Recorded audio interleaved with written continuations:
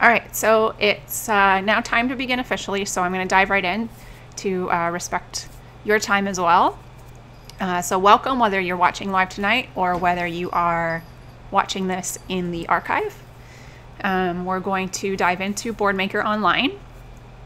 And this is something in Peel that we've paid for a board license for. Um, to get access to your account, though, you will have to request one. Now, any of you that signed up through Frontline for this session tonight, I have, um, with the help of my colleagues, gone through and made sure that you do have accounts. Um, so you would have received an email from Boardmaker uh, asking you to set up your password and whatnot. Um, and if you happen to be joining us and you don't have your account yet, not to worry, you can just kind of sit back and watch tonight.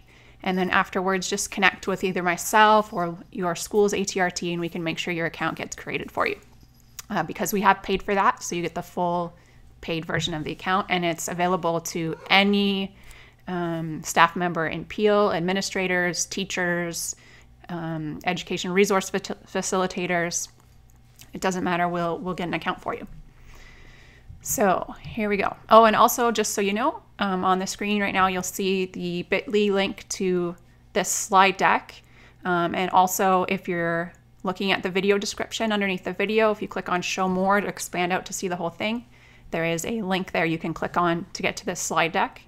I'm not going to actually go through the slide deck tonight, but it'll be a good reminder and a good resource for all the things that I will show you. But I'm gonna actually go to the Boardmaker website and I'm gonna demonstrate everything live. And we're gonna cross our fingers that Boardmaker behaves. Sometimes it goes a little bit slow, but it's it's been better lately. All right, so here I am on the Boardmaker website. I'm actually going to see if I can change my zoom a bit so it's a bit bigger for you to see. There, hopefully that helps. Um, first off, right across the top right here, you have your, me your menu bar. My menu bar looks a tad bit different from yours because I have this admin menu on mine. Uh, yours won't have that, but everything else will be the same. And this is kind of your navigation, how you're going to get to everything within Boardmaker. Now, I'm going to start out by looking into the side of Boardmaker that lets us create interactive activities. If you've used Boardmaker in the past, you may have just used the one on the CD, and the one on the CD, um, you know, we'd use it to create visuals to print out the little picture symbols I'm sure you've seen for visual schedules, or some teachers wear them on a lanyard and have different symbols to help with visual supports for their students. And we can still do all that, and I'll get to that a bit later. Um, but something that's great about the online version is you can create interactive activities. So that's what I'm going to focus on at the beginning. And at the end, I'll show you the principal stuff. So when I'm thinking of an activity I'd like to create, I often first kind of browse around and see if someone else has already created that same thing so that I don't have to waste my time reinventing the wheel. So what you can do is go to the activities menu and you can browse in here. Uh, you can have a look at premium activities. These are ones that Boardmaker themselves um, have made as kind of like shining examples of, of great things you can do. So you can go through here and you can you know, just click on any activity. It will give you more information about it. Um, if you see an activity and you're still not sure, even after looking at the description, if it's something you like or not, you can always click the play button um, and you will be able to preview it. Now, um, Boardmaker uses Adobe Flash, so often you'll get this screen. Uh, all you need to do is just click on this and then click on Allow and that will then let it start to load. And then you can kind of click through and play the activity and kind of see if it's right for you. So I'm just going to close that. Um, the premium activities, though, there aren't a ton of them. So you're probably at some point going to need something that you can't find in here. So another thing you can do is go to the community activities section. And the Boardmaker community is worldwide. You have teachers all over creating things and sharing them. So it is just chock full of stuff. And some of it's phenomenally amazing, and some of it's, let's be honest, just not suitable. Um, it was maybe made with a very particular use in mind and it wouldn't apply to us. But um, tonight, I'm going to imagine that I'd like to create an activity about sorting items that go in the fridge versus items that go in the cupboard. So, a skill, you know, you come home from the grocery store, you need to be able to put those things where they go. Um, so, I just typed in the word fridge. I could have been more specific, but uh, in this case, it only brought up 17 activities, so that's not too bad. Sometimes you'll type in a word. If you typed in the word color, the word time, you'll come up with maybe a thousand activities. And if so, you can go down the left hand side here and you can kind of check off these little check boxes. I know it's probably hard for you to see, but they just let you narrow down your search a bit if you're getting too many results. Uh, but in this case, I noticed a nice activity here made by my colleague Joe. I'm going to click on it. Again, I get a little preview. Usually there's a picture right here. I'm not sure why they're not coming up, but that's okay.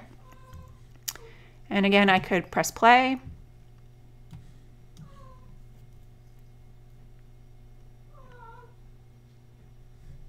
And I get a little preview of what that's like. Great, looks good to me. If you find an activity you like and you want to keep it for later, there's a plus button right here, and that will allow you to save it to your My Boardmaker section so that you can find it more easily later. Another thing you can do is if you find something someone else has made and it's not perfect, if you save it to your My Boardmaker section, you can edit it later.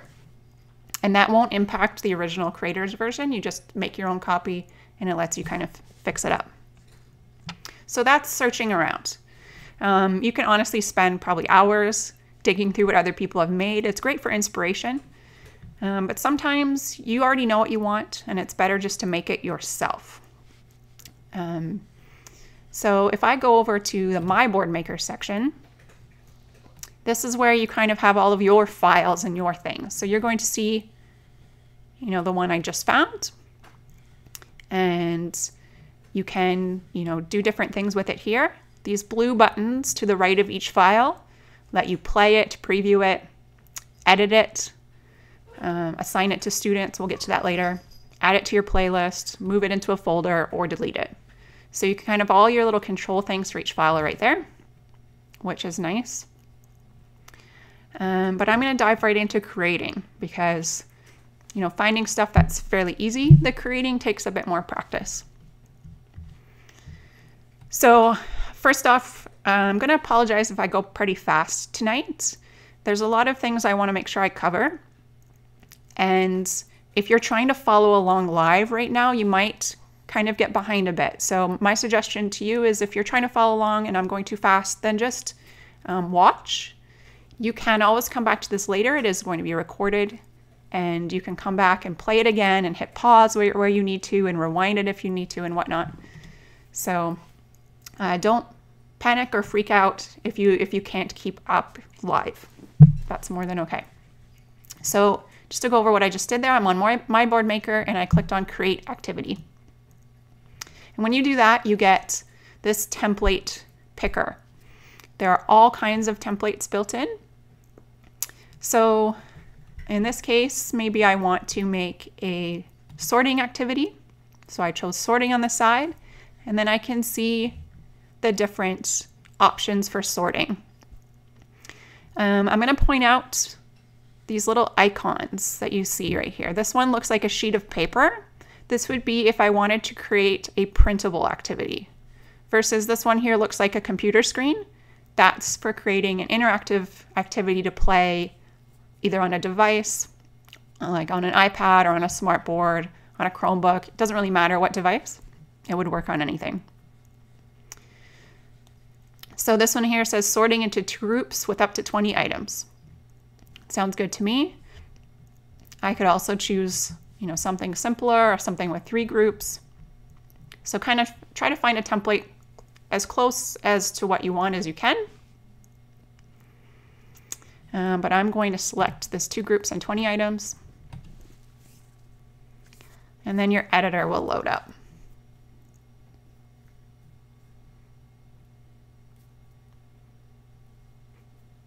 There it is. I'm going to make this a bit bigger, so hopefully you can see it a bit better. There we go, not too bad. So the editor can be a little bit overwhelming at first, but I want to point out a few things that make it easier. You're going to notice all kinds of red text everywhere, and it looks kind of ugly and overwhelming. Don't worry about the red text. It does not show up when you actually play the activity. All the red text is for is to help you understand how to customize this particular template. Um, customizing the templates is all very um, similar. Once you learn how to do it once, you'll be able to do it to all of them. But if there's any little things that are different, it'll tell you right here. So when you're editing things with Boardmaker Online, my tip number one is do not double click. We're kind of used to that in other types of editing software. If we see something we wanted to edit, like this title right here, we would double click as like our reflex. But in this case, I want to just single click on things. And then I can start typing. Now you'll notice another thing I did not do is I did not delete first. I'm just overwriting. So you don't have to get rid of what's there. You can just click once. It'll select it. You'll notice it's selected because there's a box around it with yellow squares. And then I just start typing and it overwrites what was already there. These templates have a lot of like coding and whatnot behind the scenes to make all the programming work. So you don't want to mess with them too much. If you accidentally like click and drag something somewhere where it shouldn't be, you want to make sure you use your undo button. It's this orange back arrow to kind of put it back where it belonged and then you're fine. But if you mess with things too much, it'll um, not work when you go to play it. So the way Boardmaker works is there, there are all of these buttons. You just click on one, and then you start typing on your keyboard the thing you want to put into that button. So in this case, I'm thinking of things that would go in the fridge. So maybe I'm typing milk, and then you hit enter on your keyboard. When you hit enter, the symbol sorter comes up and then you can pick whichever symbol you would like. And then you hit select and you'll see it puts it on the button for you. Um, something else that goes in the fridge, maybe orange juice. Now, let's say you don't really like any of the little cartoony symbols that come up. You can also go to web search. And then for some reason, it doesn't automatically search. You have to hit enter again to make it actually search, which is strange, but that's okay. And then they all come up. And again, you just pick the one you want and click select. Now in this case here, the picture is so tiny and the words are too big, so I can actually come over to the side to the properties. I can customize things a bit, make the words a bit smaller. So you can always tweak things as you go. Um,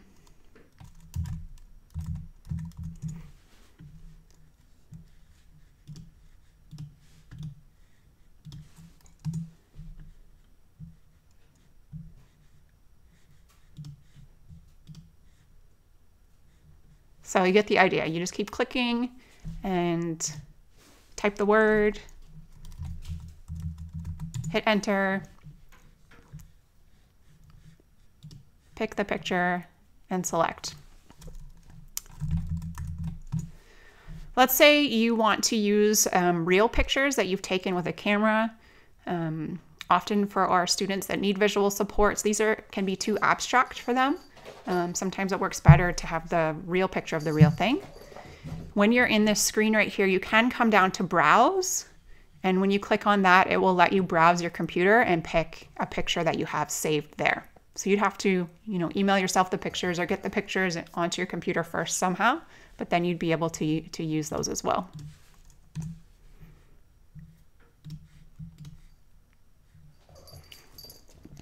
Okay, so I'm not gonna take the time to do all 20 squares, but you get the idea. When you're creating the and filling out these templates, you create them as if they're the answer key. So you create it 100% correct. The Boardmaker system, when the kids are playing it, it will automatically randomize it each time. So you don't have to worry about kind of making it all random. Um, you put it in as if it's correct answers. That's how it knows, you know, what things go where. And then when you play it, it does that for you. So actually, um, now that I've, you know, gotten started and I maybe want to test it out to make sure it's working correctly, I can come up here to the play button and I'm going to hit play. And then this shows me a sample of what it's like. Now, one thing I really love that you're going to notice right here is I didn't finish filling out all 20 squares. Um, but it has automatically noticed that I didn't do that and it has ignored the extra squares. So if you don't need all 20, that's fine. And then this is exactly what it would be like when the students are playing it. So they would just drag the item where it belongs. That doesn't belong there. And you'll notice, you know, if I put it in the wrong spot, it tells me. That doesn't belong there. No, milk belongs in fridge. So if I get it wrong twice, it supports me. It helps me by showing me where it should go. And then maybe the next time I play it, I might know a bit better where it should go. That's right. Orange juice belongs in fridge. That's right. Pasta belongs in pantry. That doesn't belong there. No, cereal belongs in pantry. Okay, so that's the idea. Now that I've finished previewing it and I'm pretty happy with what it is, I'm going to return to the design mode and I'm going to come up to save. Now, Boardmaker does not automatically save anything, so save early and save often. If you're in the middle of making something and it glitches on you, you could lose all of your work. Or if you just accidentally close it without saving, you would lose all of your work.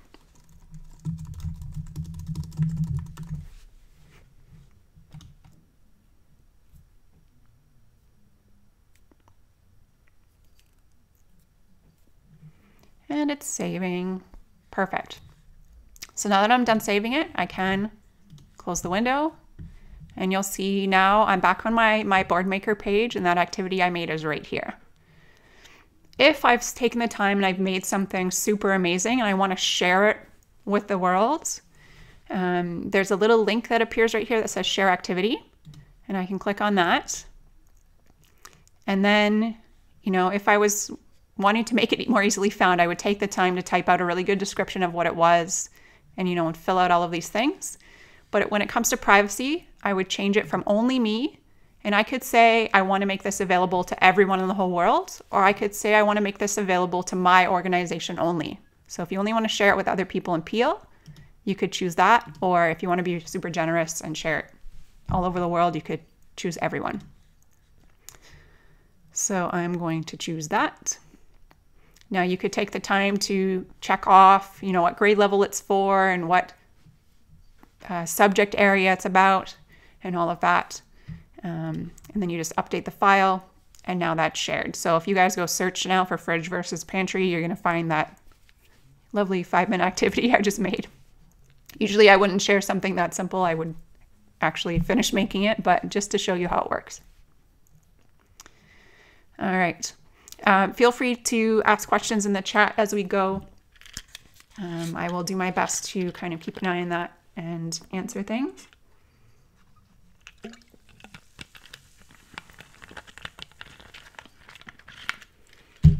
Okay, so I'm going to go back to create activity and I'm going to quickly show you one other template and customizing it. Um, just because some of them are a tiny bit different. Let's see if I can find the one I, I need. It's under games, I'm pretty sure. Um, the question is, can we share it only with our students? Yes, you can. Uh, and I will show you after how to assign these activities specifically just to your students. So you don't have to make it public in order to use it with your students. That's not a problem. And can you share with a specific colleague? Yes, you can, Melanie. Um, there's a couple of ways to do that. You can um, share it via email. There's a way to kind of send it to one person. And hopefully I can show you that after. You can also create little community groups. Um, under the community menu, you can create a group and invite your colleagues to that group. And then you can share certain activities to that group, and then everyone in that group can kind of see them and collaborate. So I've worked with teams, you know, at schools where everyone at the school joins the same group and, and puts everything there, which is awesome. Okay, so I've chosen games and I want to make this identical pairs matching game. I'm going to select it. Uh, is it okay to create with students? Students can't create things with BoardMaker. Um, they won't have accounts in order to access the creator. Uh, students will just get to play whatever it is you create. So when you open this particular um, activity, it looks rather intimidating um, because how you edit it is a lot different. But don't worry, it's it's not too complicated actually. Um, so this is going to make a little card game where you like flip over the cards and try to make a match. But how you tell it what to put on those cards is right here. You you actually double click on this um, top row where it says table five and ten I don't know why they don't make this look a little more user friendly, but that's that's how it, it is. And so then you type in your first item.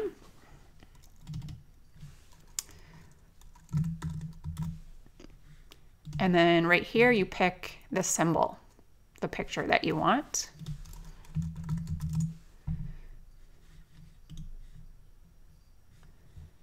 And then if you like, you can make a sound for that object, uh, customize the feedback text and the feedback sound. I don't usually bother with the audio settings. I just kind of leave the defaults there. Um, but you could if you wanted to get really fancy.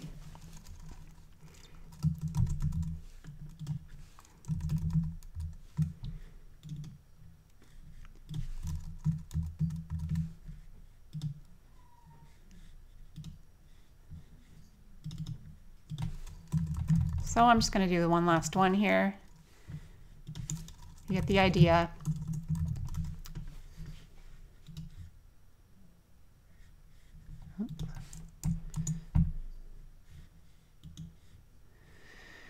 So it's a bit more boring looking to have to just fill out a table, but that's essentially what you do. And then you just hit OK. And there are some more settings here and you can go down and customize those settings. This description column here um, lets you know exactly what each of these settings is about. And you can just edit them as you see fit. And then I'm going to hit save. Now this is as complicated as it gets. Um, I purposely picked the almost hardest template to customize just to show you the range. So not to worry, 90% of them aren't like this, but I did want you to be aware just in case you come across these ones.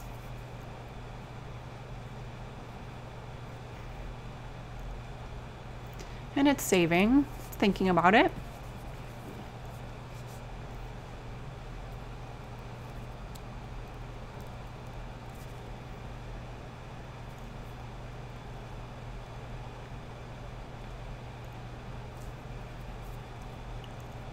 Give it a few more seconds and I might give up on it, but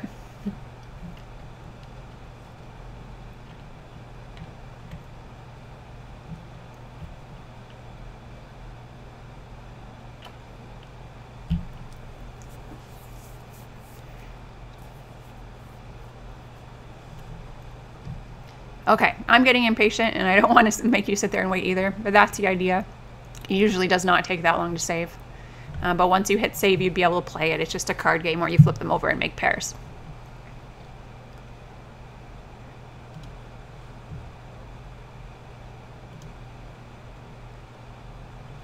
Oh look, it did auto-save it for me, which is nice. Um, and so I can click the pencil and get back in.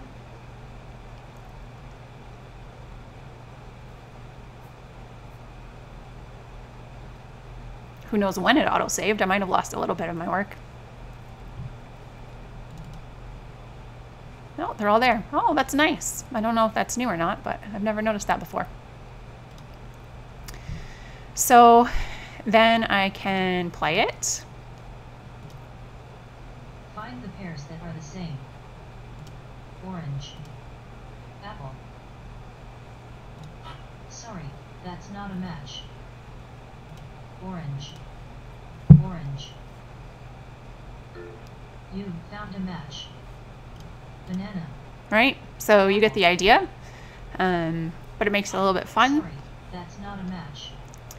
Uh, and then I'm going to return to des- design mode. Now, when you're here, if you're thinking, oh, whoops, I made a mistake, I need to fix um, something that I customized before, getting back to it is a little bit tricky. Um, if you look right here on the upper left hand side, there's a little button that looks like a bunch of pages and a couple of arrows. When you click on that, it slides out um, this page sorter with all the different parts of the activity. And then to get back to that page with the tables and things where you're changing the settings, there's a button right here that says activity settings. And you click on it and you're back here and then you can tweak things if you need to and resave them. So that's that style of interactive activity. Uh, the question is Is it possible to add music so that when the students play, they hear background music? That's a great question. That's not something I have tried to do. I'm not sure. Um, the sounds are usually associated with, you know, if you got the um, matches correct or incorrect, it gives you a bit of feedback there. But I don't know, maybe it is possible. We could look into that.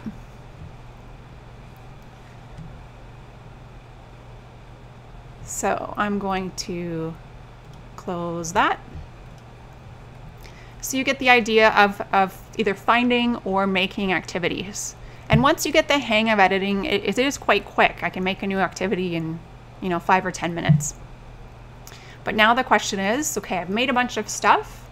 How do I then get that to my students so that they can use it? There's a couple of ways to do that. I'm going to show you first the simplest way, and then I'll uh, show you a few more options after that. So if I go back up to my menu at the top and I go specifically to the students menu, um, in here you can go to my classroom view.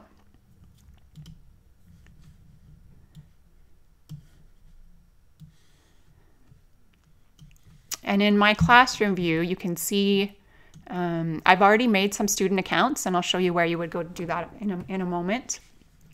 And I also have uh, a picture of myself. Well, no picture because I didn't add one, but the avatar for myself. So I can click on there and I can see different activities. Now, you might notice that that matching activity I just made isn't showing up. So to backtrack a minute, I'm going to close this again. In order to get things to actually show up in your classroom view, you either have to assign it to a student or add it to your playlist. So I'm going to go back to these little buttons beside each activity. And this one here that looks like a person with an, an arrow pointing to their head, that's the assign activity button. When I click on that, it pulls up the list of my students and I can check off which students I want to assign that activity to. Now, I really only suggest this if you have, you know, really different goals for different students. If you're going to be using the same activities with your whole class, there's no point in creating separate student accounts and assigning, you know, the activities to students individually. There's there would be no point and you'd just be wasting your time. So if you're going to use the activities with everyone, don't bother making student accounts. In that case, you could just go to this next button. It looks like a bulleted list with a plus on it. And when you click on that, it adds it to your playlist. Now, when I go back to my classroom view, and I click on myself, it's going to load my playlist and anything that I've added to it. So you'll see now that identical pairs matching game is showing up. So that's how that works. Now, if you put this up on your smartboard, if you have one, or your Easy Teach board, um, or just have it up on a computer as a station for students to come around to, then they can, you know, play them right from here. And you can kind of take turns and kids can rotate through, and that's no problem. And you can do that all without making any student accounts at all. Okay, I see a question about uh, French. Yes, you can change the language um, and and have that feedback and stuff come up in French.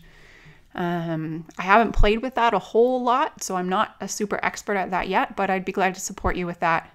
Um, if you try it out and are having trouble, just let me know and, and we can troubleshoot that together. So let's say you are in, for example, a contained special education classroom, or maybe you're a, a, teacher in a mainstream classroom, but you need to differentiate, you know, quite a bit. So making individual student accounts is actually a necessity for you. In that case, you'll come up to the students menu and you can go to student management and you'll see your list of students. And your screen will look a bit different than mine. When you scroll down on your screen, you'll see a green button down here that says Add Now, and it will let you add a new student account. Um, mine's a bit different because I'm in like a Peel board level account. Um, but when you click on Add Now, it just brings up a form to fill out. It's very straightforward. All that we ask is for consistency's sake, if you use the student's six digit Peel student number as their user ID, um, and their login. That will keep it consistent if, if students are moving from school to school. That way, we're not recreating the same student accounts over and over. Um, so you'll see I did that with all of these students right here. It's their Peel student um, number. Uh, and then it asks you to pick a password as well. You can set the password to anything you like, just make it something easy for you to remember, or use the same password that the students would use to log into the computer with. Um, that will keep it simple for them once you've um, done that and you have individual students back in the classroom view, you know, they'll all be right there. And then you just click on whichever student you'd like and it uh, brings it up.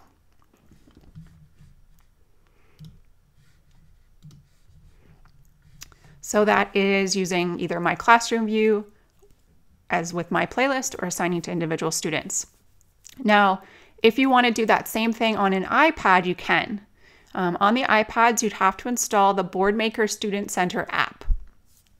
Uh, and it's a free app. Um, so you just have to put in a heat web and request that it be added to your school iPads. And then um, you open it up, and the very first time you use it, it asks you to set it up and it asks you for your account ID. When you're on your home page of Boardmaker, and you scroll down a little bit, you're going to see your own name. And then right underneath of that, right here, it has your account ID. And that's what you'll put into the iPad um, to set it up for the very first time. Once you've done that the one time, it'll remember it after that. Um, but that's just how it knows that, hey, you're from Peel. Everyone in Peel has the same account ID. Um, I see Mandeep's asking, how do you add students? You'd add students by going to students and student management, and then you'll see a green button there that says add now. And so you just manually have to, you know, fill it out for each student you'd like to add. Um, and like I said, my account's a bit different, so mine doesn't show up in the same spot as yours, so I can't actually demonstrate it for you. Um, but you're just here at student management and then scroll down. You'll see it. It's green, it's very obvious. You just click add now. And you can make as many student accounts as you need, not a problem. But again, keep in mind whether or not you need to do that, because in most cases, you, you really wouldn't need student accounts. So it's your call whether or not that's applicable for you. Okay. Good. Okay, I'm glad that makes sense. Um, the question is Did you say an email was sent with an account for us?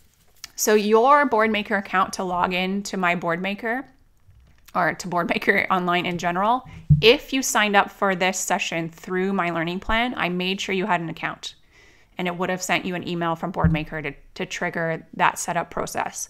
If for some reason we missed you or it didn't come through, um, just reach out to your school ATRT or reach out to me, that's fine as well and we'll make sure you get an account set up. Um, don't go sign up for an account on Boardmaker Online yourself.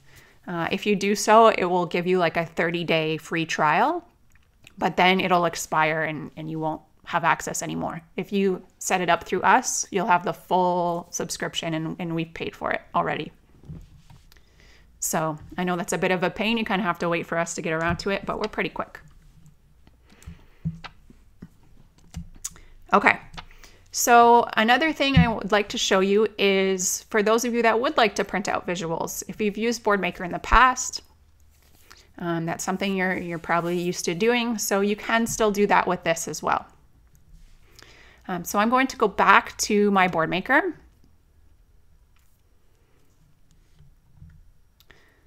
and people are saying I had to create a password today for my account. Yeah, that's what would happen uh, if you um, were added by us. You would get an email. You would click on a link in it to set up your password.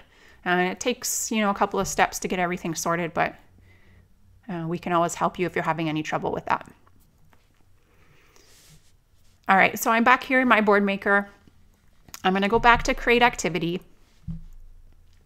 This time, instead of choosing um, one of the templates to make an interactive activity, I'm actually going to choose new blank activity. Now, I don't like making things from scratch if I want to do an interactive thing because the coding to make the activity work um, is, is challenging. But if you just want to print stuff out, it's often easier to make things um, from scratch. Now, one thing I like to do is I like to come out to File and go to Page Setup. And by default, it's set for this, the shape of a monitor. I'm going to change that to the shape of letter paper. I'm even going to make it portrait. That way, what I'm seeing on the screen and what prints out will kind of match a bit better. So it just looks like a normal sheet of paper. Then along the top here, I have these different tools. I'm going to click on the button tool and I'm going to drag out a button, however big I need it to be, and I'm paying attention to the rulers at the top and the side. Um, they're measuring for me how big this button actually is, and this now I've created one that is one inch by one inch. I can make it bigger, I can make it whatever size I need. But I'm just gonna create one button. And then if I click over to this tool here, it looks like four buttons together. This is the spray tool. And now this one's magical. If I just click and drag, it will spray out that first button and create a whole bunch more that exact same size and a nice neat array for me, um, which makes it easier to print out a whole bunch. Because chances are you're making some kind of visual schedule, you're making a whole bunch of the same thing at once. And then editing these is just the same as what we did with the interactive activities. You just click on it, start typing, hit enter, pick your symbol.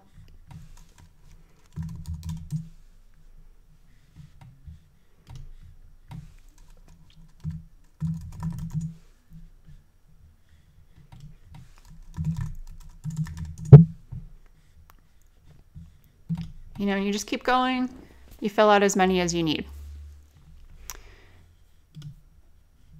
And then when you're ready to print, you know, just go file, print page, and you're good to go. Now, let's say you were printing a lot of symbols and you needed more than one page. You can open up the page sorter on the side. That's this button on the top left that slides this out. And I have a couple of choices. I can add a new blank page. It defaults back to that other size. The other thing I can do is I can click on this little gear, I can copy a page, and then I can paste that same page. And you'll see now I have two copies of it. And the second page, I might not need, you know, these same things again. I might be doing different things. So again, I don't need to delete it. I just click on it and overwrite what was already there. Hit enter, pick a new symbol.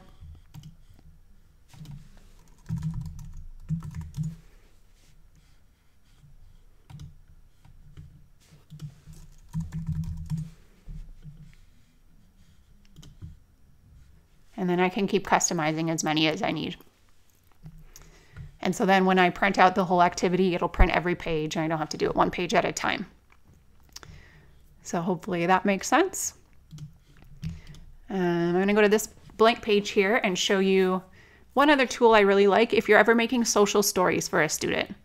Um, so maybe a student um, who has autism, who you know struggles with some transitions, and you want to make a social story about it, or even you're just making a class book with your class. Doesn't matter. Uh, it's this tool right here. It's called the Symbolate tool. It looks like an A and then a little head.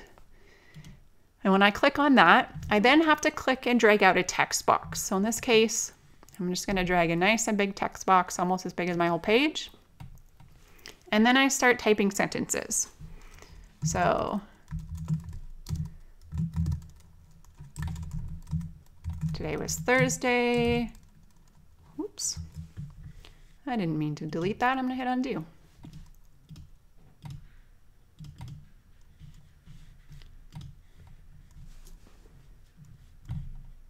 Okay.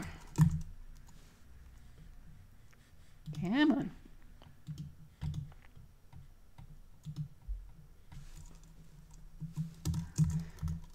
We went to the library. Anyways, you can see I can keep going on and on forever. Now it's pretty small. If I like, I can come over here to this properties bar. I can customize things.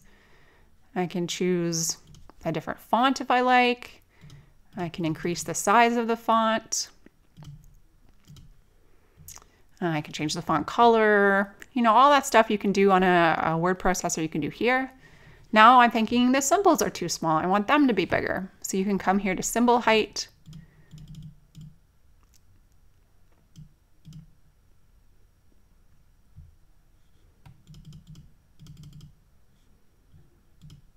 It's thinking about it.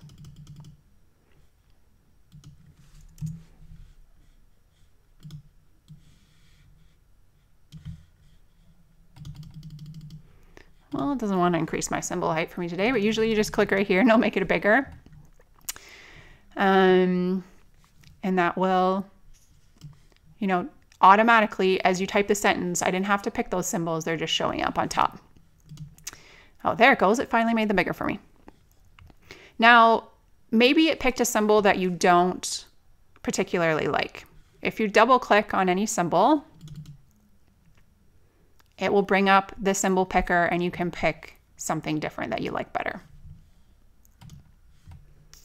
Um, and then, for example, maybe you don't want a symbol over every word, like the word the. I don't really need a symbol for that. You can double click on it and you can choose no symbol. So maybe you just provide that visual support for the keywords uh, in this text.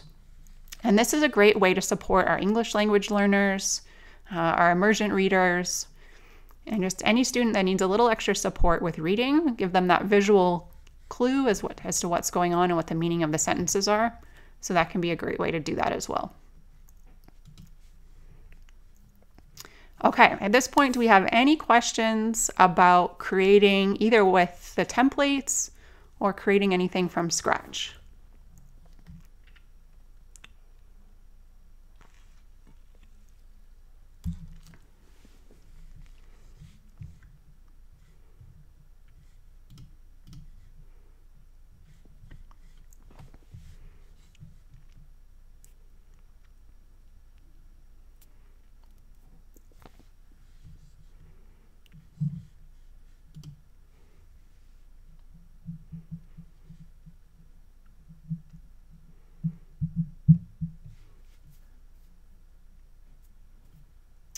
Not seeing any questions come up yet. If you're still in the middle of typing, no worries, keep going. I'll get to it when it comes in.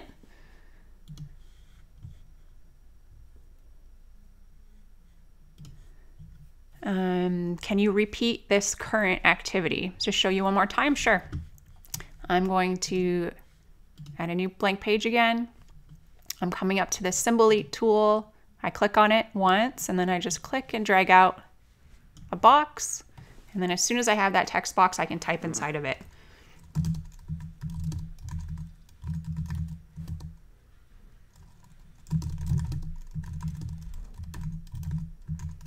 And just as I'm typing, it's automatically pulling up those symbols.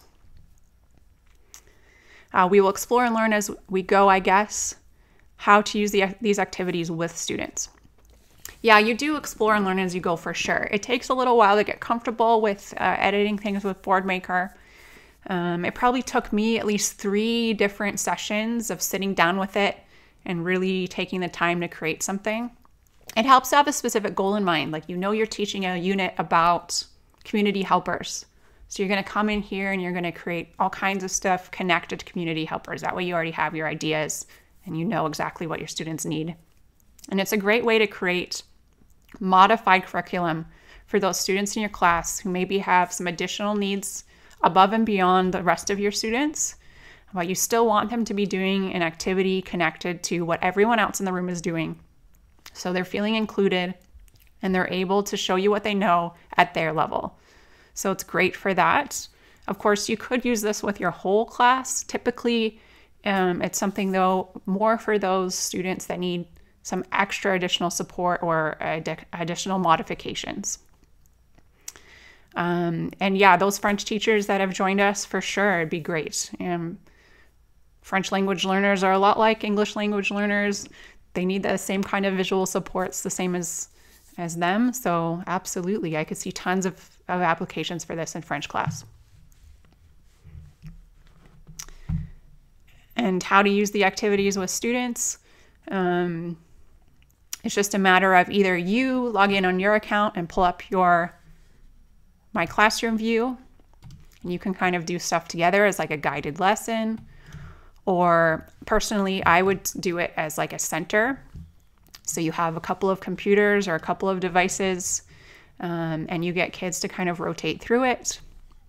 So you just pull this up you know click on yourself have all of your activities um, and you can even give students some choice. If you have a bunch of activities here, kind of all connected to the topic you're learning, they can come along and pick their favorite one to play. Gives them a lot of repetition, a lot of practice um, for those students that need that. Well, don't we all? And, you know, and that's awesome. Uh, doing it on the iPads as well is, is great. Um, it is super simple. It does sync automatically um, the iPad looks exactly like this My Classroom view. It is identical. It's just the way to, to see it on an iPad.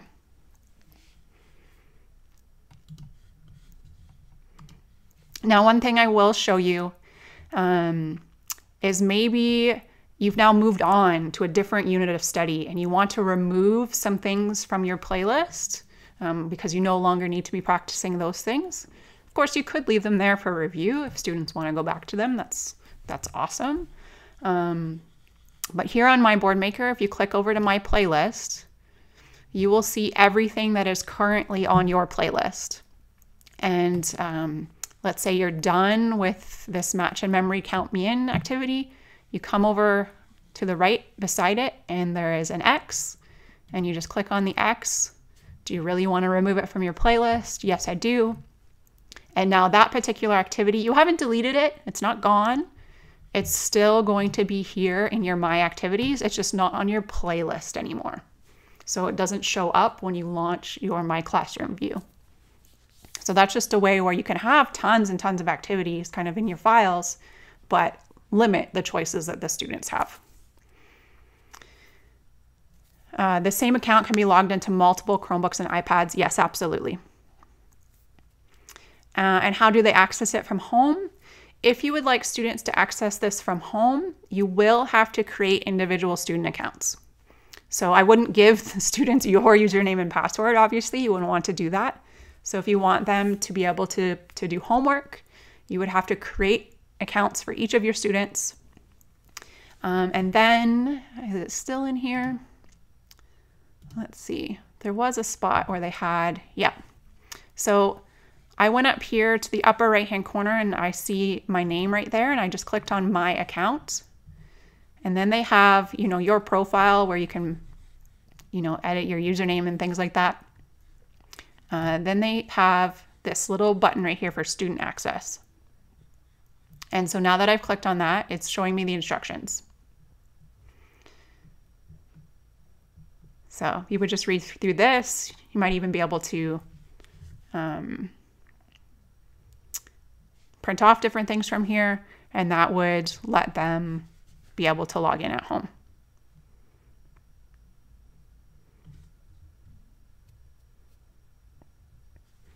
It's saying here there's a there's a button to press to send parents an email. I wouldn't bother with that. Um, if you just give students the link right here, give them the instructions, that's probably best.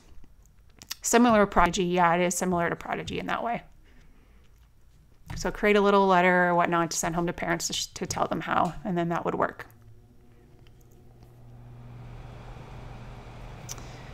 Um, would they log in with their uh, Google accounts? No, um, it wouldn't be their Google account. It would be whatever username and password you put in when you made their Boardmaker account.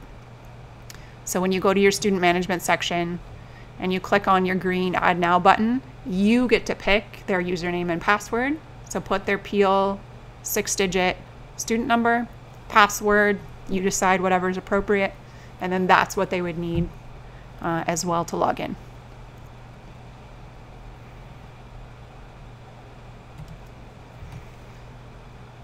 Okay, um, that is it for what I plan to show you tonight.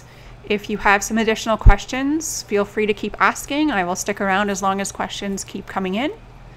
Um, other than that, I do want to encourage you to reach out to your assistive technology resource teacher if you have, um, you know, any other or you need any other support with Boardmaker Online. We are glad to come in um, and help you troubleshoot um, and kind of play around with with creating these things um, because we know it's really going to support those students with special education needs and of course you know what's good for some is often great for all as well um, where do we choose the language now i'm going to have to play around because i haven't tried that too much like in google read and write yeah it's not quite like uh, google read and write as far as the languages Let's just see if I can quickly see where that might be. I'm just going to create a new activity and see if I can make it French for you.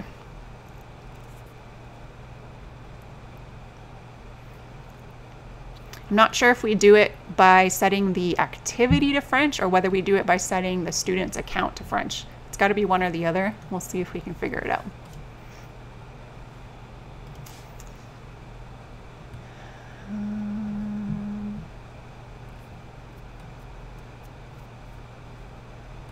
Yeah, I'm not seeing it there. Uh, you know what, Dorina? It might be something where I gotta take some time and play with it myself, and I can figure out exactly where you go to make make that happen, and then I can get back to you on that. Yeah, it's. I know it's in here somewhere. I'm just blanking right now where exactly that is. Um, if you send me an email to remind me, I will make sure to get back to you with exactly how to do that, and maybe I'll make a little a quick YouTube video to put on this channel for everyone to see of, of how to take Boardmaker stuff and make it French. Um, but I've got to do some playing to remind myself how that works. I do know it's possible though.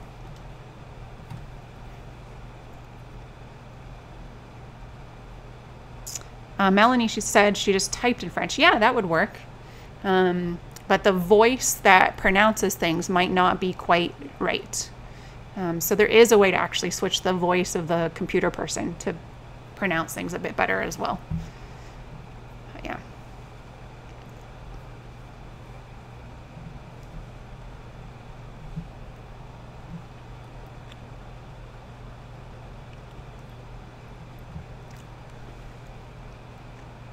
Oh, okay. Yeah, that's a good idea too. If you're in the community and we search for French things in here,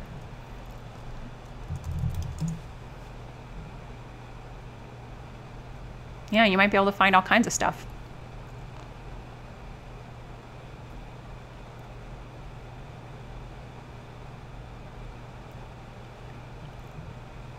There you go.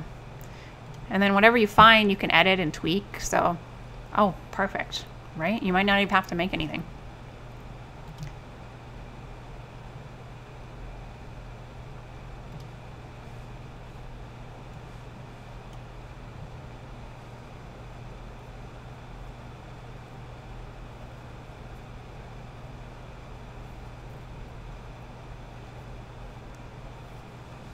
Very cool.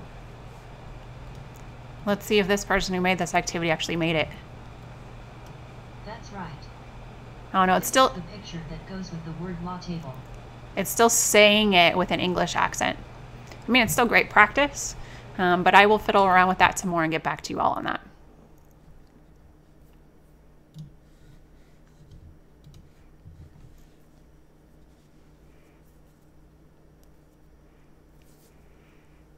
Yeah, you're welcome, everyone. Thank you all so much for taking the time to come out. Um, the recording for this will show up on this same link in about an hour or so from now once it processes, and you can always come back and review it whenever you need to. Um, if you still have any more questions, I'll stick around. But otherwise, of course, have a great night for those of you that are, are done watching.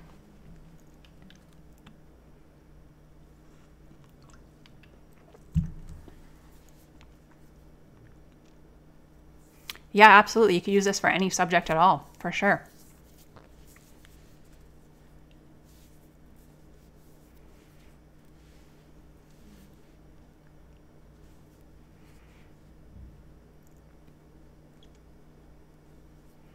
It's good to see a lot of people learned a lot tonight. That's awesome. Like I said, it is a lot. It does take time to play with. Um, so do, you know, let your brain forget it a bit and then come back to it again maybe next week and see if if it still makes sense. Um, but refer to the link in the video description. It has like little visual, little quick clips of how to do these different things I showed you tonight, or come back and watch the video again whenever you need.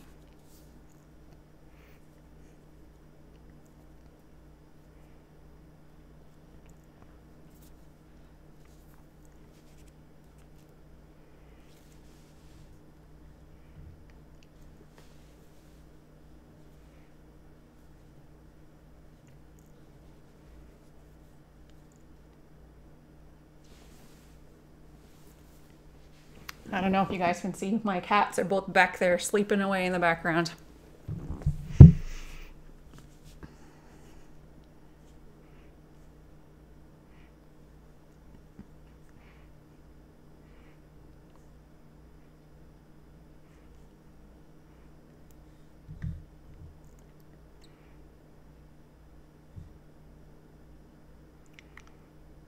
Good night, everyone. All right, I'm not seeing any more questions coming in, so I will assume that everyone got their questions answered for now. Um, like I said, as you keep going, uh, more questions will come up. You'll get stuck at certain points, maybe, and then be like, help. And just reach out to us via email, either your school ATRT or myself, and we'll, we'll help you along.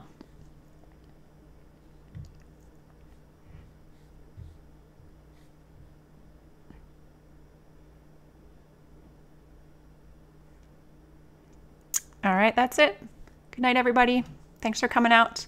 Uh, there will be another webinar next Thursday about uh, using Smart Notebook. Now, that's not a piece of software that everyone in Peel has access to, so it'll be mo most applicable for those of you that work in contained classrooms that have a smartboard. Uh, and I'll look forward to seeing you guys then if you're if you're coming out for that one. Bye. Good night.